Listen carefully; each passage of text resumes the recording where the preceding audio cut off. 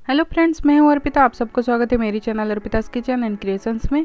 आज हम बनाएँगे फ्रेंड्स इंस्टेंट पिज़्ज़ा वो भी दो मिनट में। तो चलिए स्टार्ट कर लेते हैं।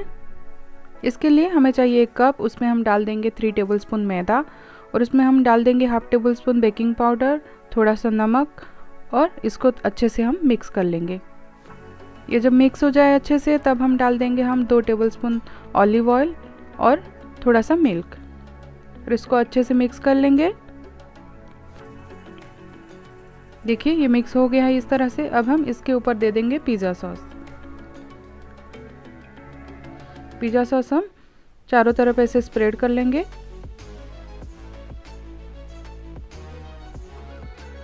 अब हम इसके ऊपर दे देंगे थोड़ा सा मोजरेला चीज़ देखिए, चारों तरफ़ हम स्प्रेड कर लेंगे। अब हम इसके ऊपर दे देंगे टॉपिंग मैंने यहाँ पे लिया है कैप्सिकम ऑनियंस और टमाटोज और मैंने लिया है स्वीट कॉर्न।